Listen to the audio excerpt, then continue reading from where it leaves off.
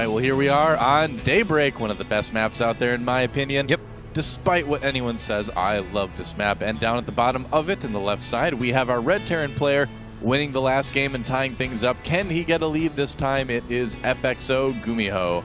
And up at the top of the map, in the blue, from the team Complexity, formerly from the team OGS, it is none other than Complexity Nada. Yes, it is, and we'll see what both these players end up going with here. This is uh, Gumiho's pick, of course, so we'll see what he ends up. Uh, I'm sorry, not his pick, of course. That's uh, entirely what I meant to say, of course, and then I myself look like Oh. a fool, but I'm going to that's make okay. a shout out to Simon93P. Oh, who reminded me that the uh, the third commander, captain slash uh, officer in the Imperial fleet to die in Empire Strikes Back was uh, Admiral Mati. Was I believe. Admiral or maybe was captain. I don't know, Cap- but he Ah, was gotcha. the he was When the third that? one that Vader offed. Ah, gotcha. Yeah, That's uh, one Yep. in a list of many. I believe that's right. And Yes. of course, you know it's you, you, it's a pretty high attrition rate if you're an Imperial officer. It's true. You know. Because Veers, of course, even though he did survive Empire, did die when the Executor crashed into the Death Star in the third movie. Ah, and very of course, true. Uh, Grand Moff Tarkin tragically went down in the first Death Star explosions. yes. Tough life, you know. Yes, he did. Yeah, that's uh, it's a pretty is. rough life. But uh, Luckily, Grand Moff Tarkin went on to be a bad guy in one of the Indiana Jones movies. Oh, really? Yeah, he was. He was in. Uh, I think it was the first one too, Raiders. Interesting. Who was he in Raiders? I'm trying to think now. oh God, guys. my uh, yeah, well, I think He was a Nazi. That doesn't really narrow it down in Indiana No, Jones movie. that's every bad guy, Yeah, but that's pretty much. yes, yeah. exactly. Unless you're talking about the fourth one, but let's not talk about. no, no, no, no, no, no, no, no. Yeah, that's- yeah, didn't exist. what what third Indiana Jones movie? What you Exactly. talking about? Fourth. Fourth. Yes. No, third. Good. What fourth? Third. Good. Fourth bad. Third good. Fourth bad. Oh, Yes, that's my film critic moment of the day. kinda So hulking out a little bit there. All right. Well, pretty normal opening from both of these guys. We've got the Yep. supply depot, the barracks, Uh-huh. orbital command. Uh, supply depot before command center, it looks like for Nada, whereas it looks like Gumiho's going to get his command center a little bit quicker. And yeah, let's see here as Gumiho decides one racks gasless FE. Nada already has gas up now. Uh, almost has enough saved up for a factory, and indeed is Oh, going to he put one down here My in just a second. So there it is. Never mind. Never mind. That's all right. We got too distracted by the uh, the the, the No, terribleness I- that is the fourth Indiana Jones movie. I looked at the mini map and I, I thought I saw two empty guys. So Oh, I was, gotcha. I was incorrect. I was just gonna say, I mean, the fourth, fourth Indiana Jones movie sometimes causes people to temporarily black out for periods of time. It's so true. It's true. yeah, It's the only Indiana Jones movie that it would not have mattered if Indiana Jones was there at the end or not. Think about it. ooh, It would not have mattered. The exact same thing would have happened at the end of that movie, Yeah. whether or not Indiana Jones was there. That really bothers me. Sorry, that's my that's my uh, Crystal Skull rant. I'll be done now. okay, no, that's that's quite all right. We'll just fondly remember the other three. So, all right. You ever watch Young Indiana Jones Chronicles? That was really good. read a couple of the I liked it. books, the Young Indiana Jones books, but I've never seen the series. TV so. show is pretty good. Huh.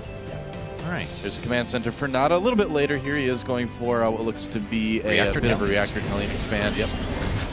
Popular in uh, TVT and uh, well TVZ. So why not TVT as well? Now, Gumiho actually going pretty high up into his minerals once again. Building these two barracks has not gone over to double gas quite yet. We'll see when he decides to put those down or if he has another trick up his sleeves here in just a bit. Already running out with a few Marines, though, Oh. and he is actually putting up one gas for now. Yep. Hero Marine has to be a little bit careful here, and I'm not talking about the player from talking Just about the one wondering. blue Marine that barely got away there. Good control, moving one of the Hellions away, Yeah. forces Gumiho to move up a little bit farther into the range of the second Hellion, and Nice Nada micro. keeps all of those alive. Yep. Not bad at all from Nada. And looks like we may have delayed Banshees coming out of him as uh, Tech Yep. Lab already being constructed on the barracks. Starport being built right next to that. Back on uh, Gumiho's side of things, though, just one gas for now. There's the second, but it's still going to put him a lot later towards, uh, well, really anything, upgrades or tech. Yeah, he's got enough Marines to uh, handle those Banshees, so it's not a big problem there as well. Um, wouldn't worry about that. Wow, that. Like, all right. Whoa, wow. He comes back and gets the kill nonetheless. He was like, "What's that? Oh, you." Oh, Bang. boom, dead. All right, Ba well, boom. yes. Big bada boom. Bada bing, bada boom. Medevac is the first thing coming out of the Tech Lab starport now for Alright. Nada, as it looks like he is uh, some sort of a Hellion drop, I assume. Taking a look at Gumiho's vision. He's not picked up on that yet, though. You know, if Gumiho scans too at this timing, this is about the time that you would see a lot of scans going down. And look at that. Yeah, Nada just totally trying to fake Gumiho out. Researching the uh, Caduceus reactor as well. Yeah. So uh, totally trying to get Gumiho to think Banshee, but he's not scanning, so Nope. it's not going to work out. Yeah, it doesn't scan. The medevac does finish. Caduceus reactor is canceled. Right. And it looks like it's going to be uh, siege tank production from here on out with Nada. Yeah, and we actually have a, uh, a second factory coming up for Nada now, so he may be uh, starting to move down the mech path that's been pretty popular in the set. Gumiho, on the other hand, just adding Oh, in his first, so still well down that bio path. You know, uh, check out Nada's base again. He was doing something a little bit funky. All right, he did move that away. That was a little bit strange. Oh, okay. Yeah. All right, so yeah, he's going into mech. Three factories, either up or on the way, and that Hellion drop trying to find a place to come in, but there's a good turret ring here for Gumiho. Yeah, Nada has to move away with the medevac, so not going to be able to make an escape with these. They just got to hope to get as oh, much man. damage as possible done. Not even using the fourth Oh. Hellion. He's a slacker, but he does get a couple of SCV kills. Isn't enough to does. justify the cost of this Hellion drop. He has killed six workers so far. Yeah, I don't know if that was quite well. One Hellion not even participating. All right. it's like I saw what a heap of trouble those guys were in. I don't want to be in it. Uh, Yeah. Oh, and he's just dead. Yep. Well, it just didn't work out terribly well for Gumiho, or uh, for Nada rather. So gonna have to group up. And Gumiho scans, sees everything that's going on. This is a pretty good map for mech as well. Yep, taking a look around, sees exactly what's going on. How's he going to react to that? He already has his third command center up. We'll see if Nada's picked up on that. Yes, he has. So uh, he does know what Gumiho is up to. You know- and we have a couple of medevacs coming out now. I just I love the variety we see right now in, in TVT. You know, Yep. earlier in the series we saw Gumiho play mech against Nada's uh, bio-oriented force, and now we're going to see Nada playing mech against uh, Gumiho's bio-oriented force. So it's it's cool to see players do different strategies on different maps, different games, things like that. Um, it just gives you such a, a wide variety of, of interesting matchups. Getting close to seeing who, uh, what style will reign supreme as we're going to see both players try to get out, uh, try and get out against the opposing bio forces. Yeah. So Well, Gumiho won his mech game. Yes, yes, he did. Will Nada win his mech game? Uh, then that is big enough of a sample size for me to say that Mech is the best. I mean, That's I right. was going to call it right We've there. known it all along. Right. We just needed this to confirm. Oh, Artosis. Oh, he's right here. though. Mech is the best. It's pretty strong. Wish more people would try and flesh out some cool builds with it. This looks to be a pretty good one, though, out of Nada. Yeah, it's it's more of a, a style really than a build Yeah. over anything else. But you know, if played right, it it should beat Bio like nine times out of ten at least.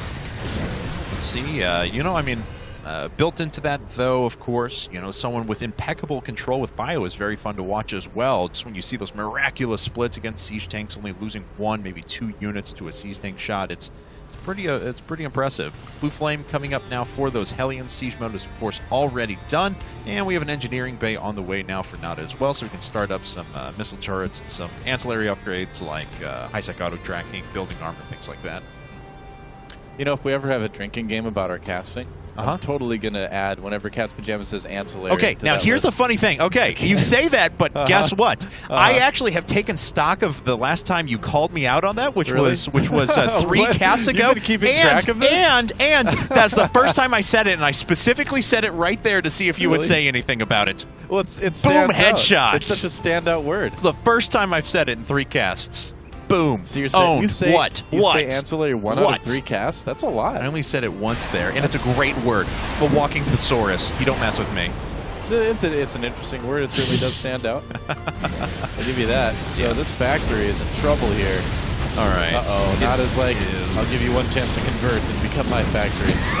Gumiho's factory, though, to the bitter end, he will remain a red factory. Oh, wow, even sieging up to take it out. Ultimate insult there. Splashing nothing and doing less damage just because he can't. Nada, Yeah. why you so BM? Because he can't be. He's True. Not. He is Nada. All right, well, Gumiho's on three bases now, and that's a pretty good place for him to be um, because Nada, you know, waiting for a little bit more before he ends up pushing out. He does have another base of his own coming up, but it's still going to be a while before it finishes. Can't believe you kept track of the last time I called you out on saying ancillary. I was curious what you would say, so now I'm going to use it all the time, of course. Just you, al- troll you you. already did. Yes. All right, so got some upgrades going down for uh, Gumiho here. Nada just kind of powering up, making some more factories, making a lot of units. Yes. And uh, Gumiho does have that earlier third base, so he's going to take a nice little jump in supply. But, you know, with Mech, you kind of accept that your opponent is going to be able to power ahead a little bit at this point in the game, and you're just going to play safe enough that you can catch up later on. And Nada. Marauder. Um, right. Oh. Okay. well, lets the Hellion die, unfortunately. More worried about uh, moving this command center off to the right-hand side. Going to put up a sensor tower, though. Very critical with the mech build. Yeah, absolutely. So it's going to be a planetary as well, I believe, too. So Yes. that's going to be quite a secure location with a couple siege tanks thrown in there as well. All right. Well, taking a look around, Gumiho taking this uh, spot here inside towards that pocket expansion. He's getting close to max. His upgrades are pretty good. Already well into 2-2 with plus one ship uh, armor, actually. So uh, making sure that he gets his upgrades going for his air units, but prioritizing armor at first. Yeah. Which is, well, I don't know. That's it's an interesting choice. I wonder. I wonder how much of a difference that actually makes. I haven't, of course, done the math because I, I don't do math. Ha. Uh, but I wonder, you know, what sort of difference that actually ends up making in a fight if it does legitimately let your Vikings survive. You know, one more hit. Well, let's see here. Oh, look at that.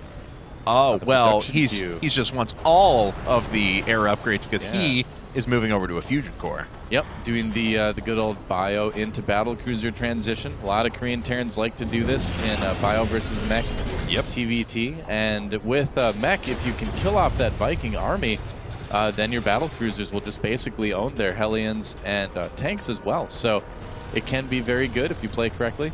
Yeah. Oh, not a Oh, Nada loses one Hellion, two Hellions.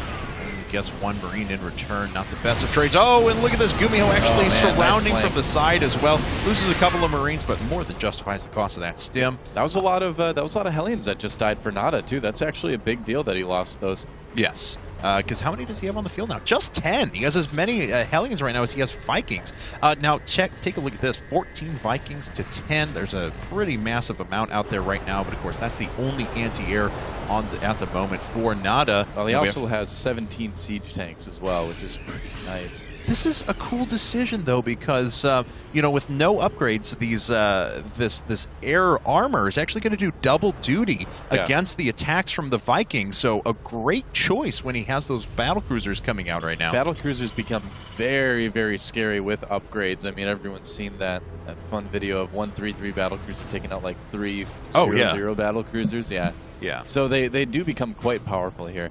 Some Thors on the way for Nada, but that's not going to help a lot against battle cruisers, that's for sure. No, unfortunately not. Let's actually take a look, though, as our first two battle cruisers are popping out. He's not queued up anymore afterwards, but may very well. He does have resources for them. So, called in the fleet? yes. That uh, kind of sounded a little bit uh, a little bit Caribbean there. it sounded kind of like it didn't work uh, out too well. fun Eastern European guy. Who's here to party, man? A little, a little bit. Hey, hey, I- come to America. We I- want to party. I found an accent that I can't do very well, apparently. I'll have to work on that. All right. Well, we'll track your progress. So, Let's not. all right. Nada's going to bust through the destructible debris at the front, and he'll be able to fire on this planetary fortress here pretty soon. But here come the battle cruisers. We'll see if it's going to be enough time to save this next base. Pretty big air army coming out here. Oh, Gumiho actually just running on by. All right. Yeah, he's going to try to just oh. do some damage with the counterattack here. Ooh, planetary fortress goes down right away. It's a pretty big waste of resources Oh, wow. there. And uh, Gumiho doesn't have a lot Well. sitting here to deflect Nada. But there, here come the battle cruisers. And the front line of air units is being decimated for Nada. There are a couple Oh, Thors that are in the air as well, though. but they're getting shut down immediately. And I think this entire attack is going to be stopped just by these air units, the battle cruisers, doing so well, and all the production is under fire. What are the health on those Vikings, though, for Gumiho? He had to have taken a lot of damage from the uh, Thors. Yeah, certainly did. The GG. GG.